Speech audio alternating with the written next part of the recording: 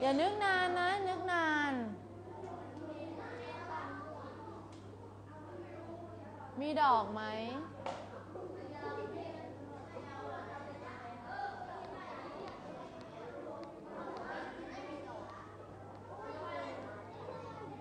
มะม่วง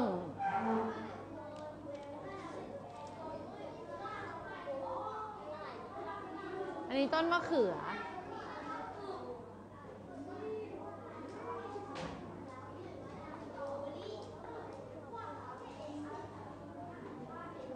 คุณแนนให้เวลาช่วงนี้ 5 นาที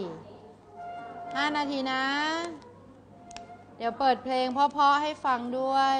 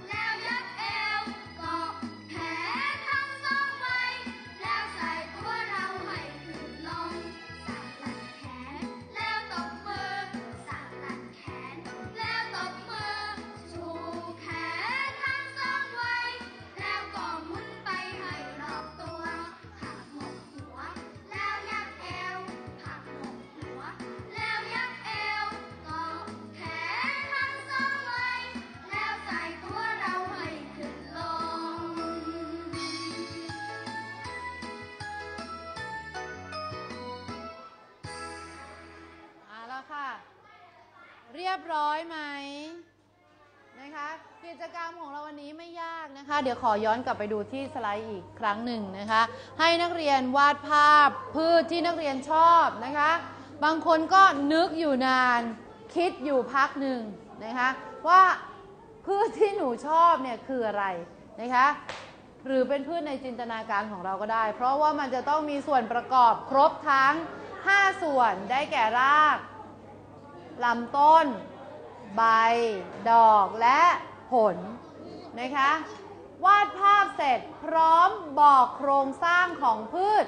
ชี้บอกมาด้วยว่าตรงนี้ราก ตรงนี้ลำต้น ตรงนี้ใบ ตรงนี้ดอก และตรงนี้คือผล ชี้บอกแล้วยังไม่พอ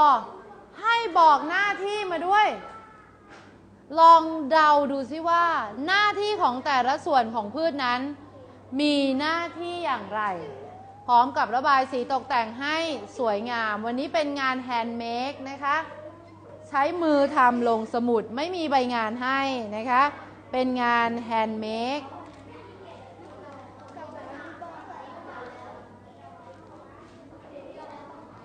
ได้ไหมคะ ไม่ยากไม่ยากนะคะ หรือจะเป็นต้นนี้นี่ไงคะต้นนี้ก็สวย ต้นดอกสีเหลือง มีดอกมีใบ มีผล รากลำต้นใบดอกและผลนะคะแต่อันนี้เขาไม่ได้บอกหน้าที่ ให้นักเรียนบอกอะไรมาด้วยคะหน้าที่นะคะเหลือเวลาในช่วงนี้อีก 5 นาที เราลองไปดูหน้าที่กัน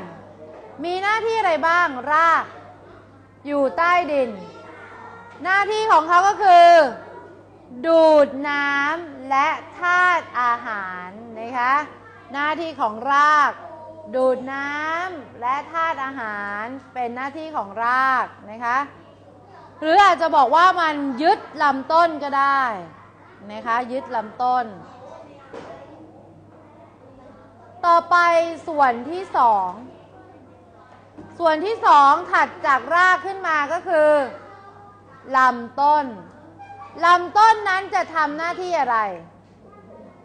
ลำเลียงน้ำและธาตุอาหารนะคะ หรือจะบอกง่ายๆ ตามภาษานักเรียนว่าชูกิ่งก้านก็ได้นะคะ เพราะมันทำหน้าที่ชูกิ่งก้านและใบ อะไรอีกคะ ส่วนที่สามใบ ที่เห็นเป็นสีเขียวสวยนี้ หน้าที่ของมันก็คือ สร้างอาหารหรือเราเรียกว่าสังเคราะห์ด้วยแสงนั่นเองนะคะสร้างอาหาร ใบแล้วต่อไปส่วนต่อไป ดอกนะคะดอกไม้ที่มีทั้งกลิ่นหอมนะคะและสีสันสวยงาม หน้าที่ของดอกก็คือทำหน้าที่ในการ สืบพันธุ์นะคะขยายพันธุ์พืชนั่นเองนะคะสืบพันธุ์ เมื่อขยายพันธุ์เกิดการผสมพันธุ์ปฏิสนธิก็จะได้เป็นส่วนสุดท้ายก็คือผลนะคะเป็นพืชผักผลไม้นะคะที่เราได้จากการผสมพันธุ์ มันมีหน้าที่ต่อไปก็คือ ขยายพันธุ์นั่นเอง นะคะ ขยายพันธุ์ เร็วไปไหม นักเรียนบอกว่าครูขาเร็วมากเลยค่ะ งั้นเดี๋ยวเราย้อนไปดูที่ภาพของคุณครูกัน อ่า อันนี้ภาพที่ระบายสีเรียบร้อยแล้วในสมุดนะคะ ขอไปดูที่วิชวลนะคะ อ่าทำหน้าที่อะไร ดูเริ่มแรกจากข้างล่างเลยยึดลำต้น ยึด ยึดก็คือให้มันสามารถตั้งอยู่บนอะไรได้ บนพื้นดินนะคะนี่หน้าที่ของราก เมื่อกี้มีหลายอย่างแต่สั้นๆตามความเข้าใจของเรา ยึดลำต้นก่อนนะคะ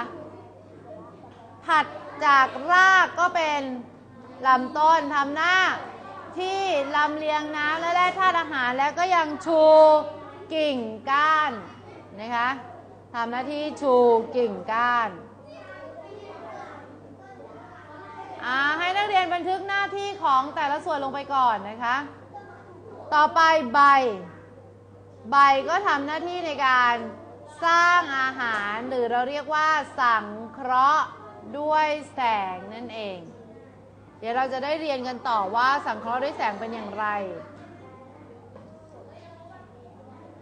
ดอกทำหน้าที่สืบพันธุ์ และสุดท้ายผลทำหน้าที่ขยายพันธุ์ให้เวลาช่วงนี้บันทึกหน้าที่ของแต่ละส่วนประกอบให้เรียบร้อยก่อนนะคะ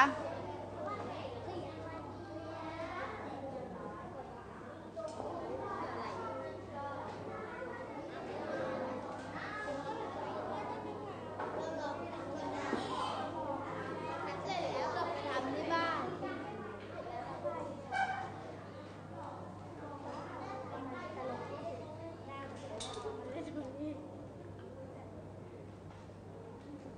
พยายามเขียนส่วนประกอบให้ครบนะคะ หน้าที่เขียนให้ครบ ง่าย อันนี้งาน handmade ชิ้นนี้ 10 คะแนนเลยนะ 10 คะแนน วันนี้ยังไม่เสร็จใช่ไหมคะ ให้นำกลับไปทำเป็นการบ้าน มาส่งเมื่อไหร่คะ วันจันทร์นะคะวันจันทร์เรามามาส่งกัน แล้วเราก็จะได้คะแนนเป็นคะแนนเก็บในชิ้นที่หนึ่งนะคะง่ายมาก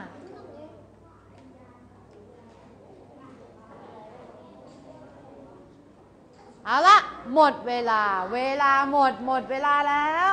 นะคะ